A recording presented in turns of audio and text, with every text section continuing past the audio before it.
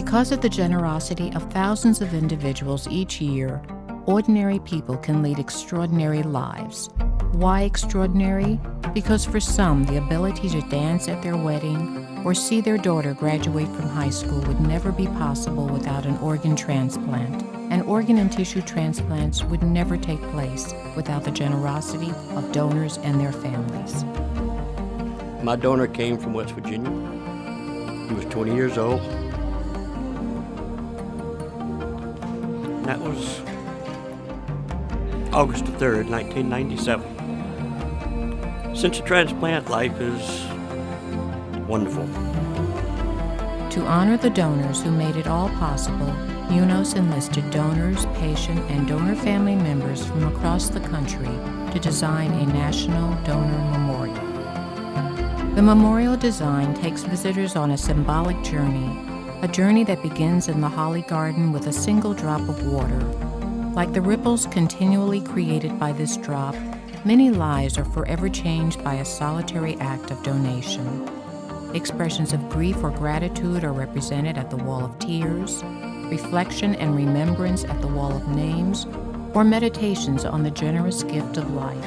And on the lawn, carefully chosen plantings attract butterflies, a vibrant symbol of new life. But you know, the National Donor Memorial has never been about bricks and mortar. It's all about people, the people to whom it pays tribute, the hundreds of thousands of organ and tissue donors throughout America, and their families and their loved ones who gave new life to so many others. And so it is appropriate that we dedicate this memorial today in their honor.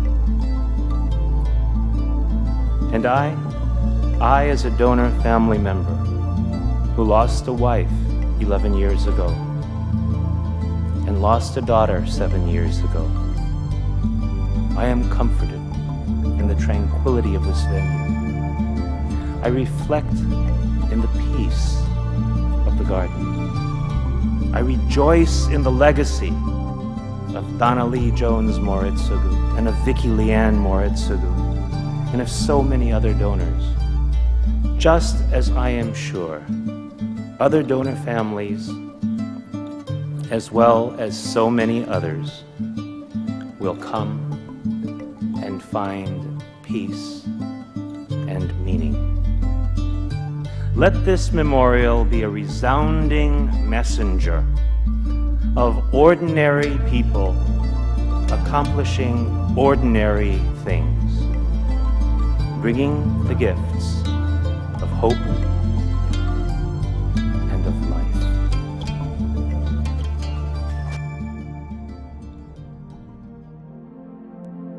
My first reaction when I'm wearing it is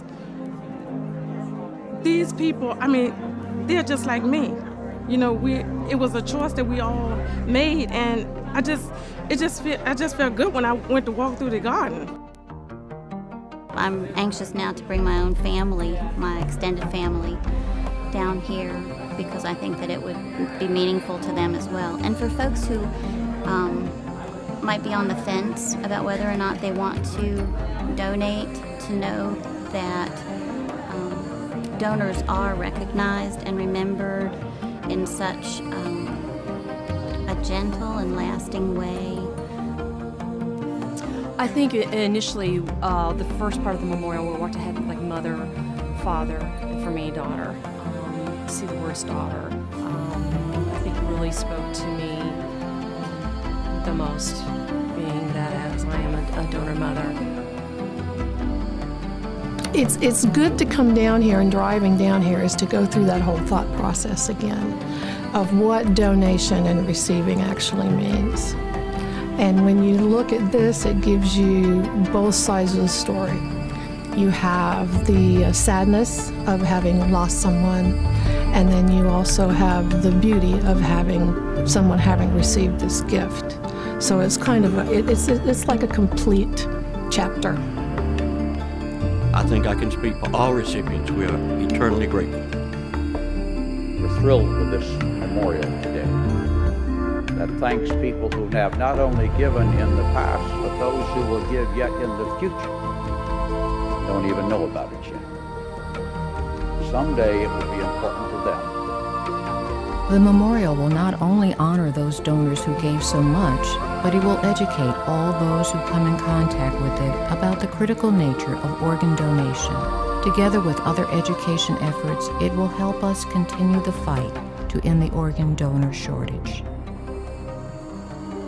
I want to share something Vince Lombardi, great coach of the Green Bay Packers, once said People who work together will win whether it be against complex football defenses or the problems of modern society. My friends, we need your help. We need your partnership together. Together we can make sure more people get the organs that they need. Together we can make a difference. And together we can save lives. A, a few days uh, before Nicholas was killed in Italy, um, we played a game with him in which he was a Roman soldier, returning home after long years of honourable service on the frontiers of the empire. When you get to Rome, we told him, your name will be known all over the world. Streets will be named after you. Poems will be written to you. Statues will be put up to you. You'll be given a gold medal.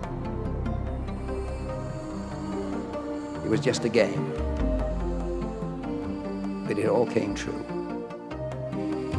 But with this difference, that Nicholas, like all other donors, conquered not by the force of arms, but by the power of love. And that, of course, is much stronger. It's that same love repeated in thousands and thousands of lonely hospital rooms every year that has inspired this wonderful memorial.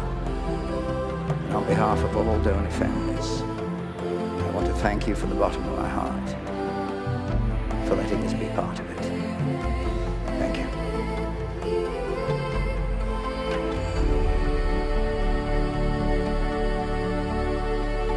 To learn more about the Donor Memorial, visit www.donormemorial.org.